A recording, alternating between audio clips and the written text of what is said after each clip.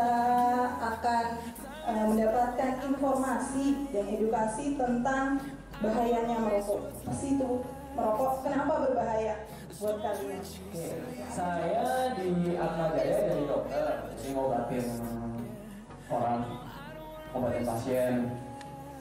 Uh, walaupun lukanya nggak meyakinkan ini, tapi saya beneran dokter ya.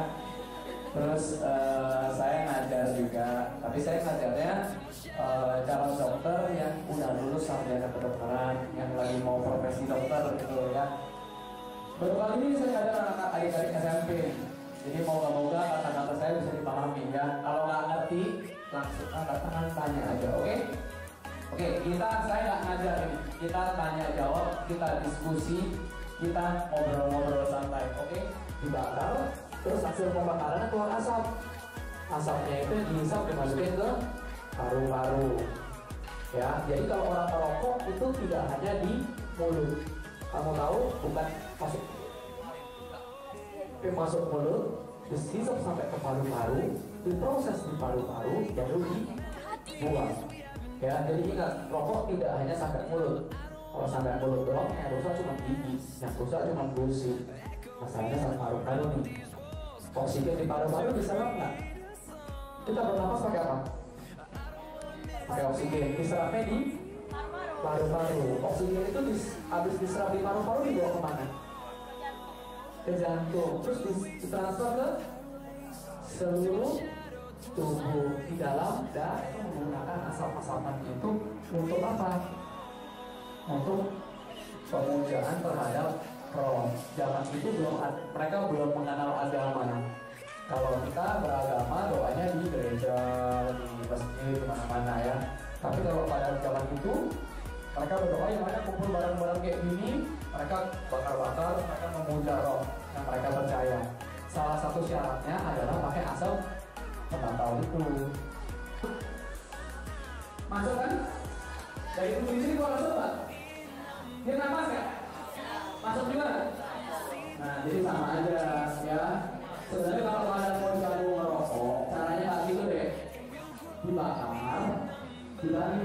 dibalik filternya di luar yang apinya di dalam baru jalan normal dulu ya kalau coba lagi badannya tak tahan bisa sakit semua bisa tadi pusing sakit kepala mulut yang pahit dan lain-lain jadi mau nggak mau coba lagi udah coba lagi dosisnya makin tinggi coba terus akhirnya nggak bisa berhenti yang sehari satu batang rokok besok dua batang tiga batang empat batang lima batang dan lima hasil saya anak SMP satu hari merokok 6 bungkus.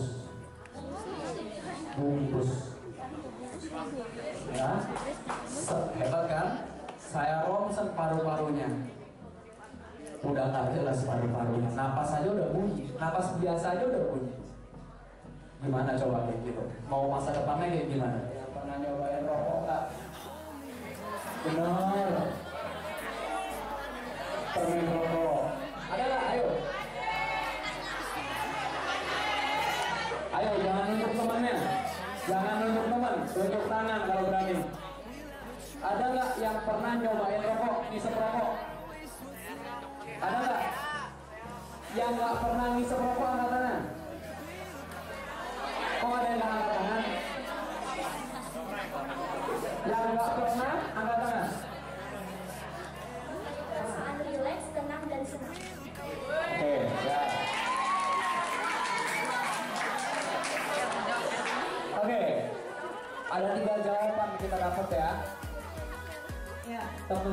lain setuju nggak dengan jawabannya?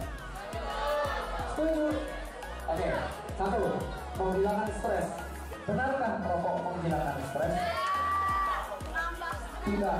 Kenapa? Tambah stres. Oke, kenapa? Karena bayar dan lain-lain ya.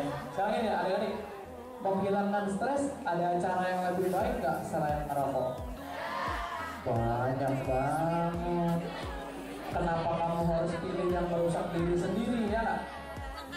Ya, jadi menghilangkan stres cari hal yang lain. Kalau bisa jangan stres, oke? Kedua, apa tadi? Kasih penghasilan buat yang jualan rokok. daripada gitu mendingan kamu sumbangin uang ke fakir miskin dan rakyat terlantar bener nggak Nama saya Arunitas. Mungkin saya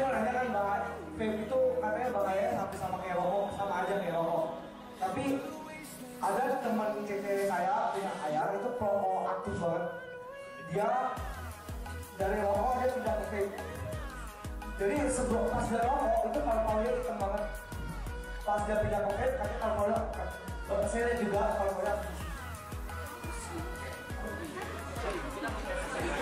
saja lebih banyak vape jadi bisa mungkin lebih sehat.